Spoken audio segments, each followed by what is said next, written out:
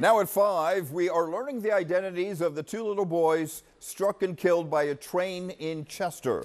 The 9 and 12 year olds were on the tracks with other children when they were hit on Saturday. So Wednesday night in the big story on Action News is the new tragic details about that deadly train accident. The Chester community is grieving these young boys. Action News reporter Aliana Gomez now spoke with those who knew the children. She joins us live in Chester with their story. Aliana.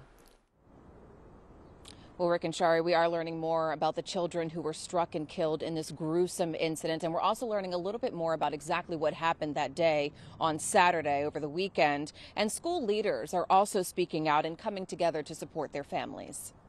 Good kids in the wrong place at the wrong time. Leaders at Chester Community Charter School are stepping up to show their support for two of their students who were tragically killed in a train accident on Saturday afternoon. A group of kids were reportedly hanging out on the tracks at 2nd and Engle Streets in Chester when a fast-moving Amtrak train struck and killed two young boys. That was not unusual for them to be on the tracks. You know, it's not that far from the house.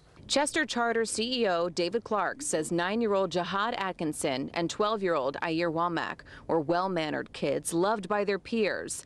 Ayer was a former student who was recently homeschooled, while Jihad was enrolled in second grade. You know, everybody liked him. Know, his teachers, uh, the principal, you know, the deans, his classmates, everybody loved him.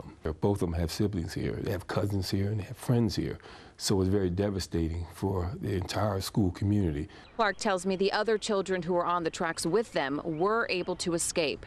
At the scene on Saturday night, a woman told Action News she warned the children to get off the tracks minutes before the accident. I said, oh, look at them children up there on that track. I said, y'all need to come down off that track and they just look. And I said, yeah, come down before y'all have an accident. Clark says the school is working with the district to provide more safe places for kids to go to outside of school. We have to learn from this, and we're going to have to provide more activities for our students.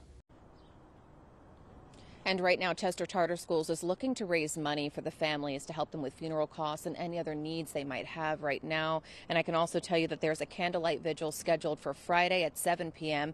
at Martin Luther King Memorial Park here in Chester. Reporting live in Chester, Aliana Gomez, Channel 6, Action News. Sharrie? All right, Aliana, thank you.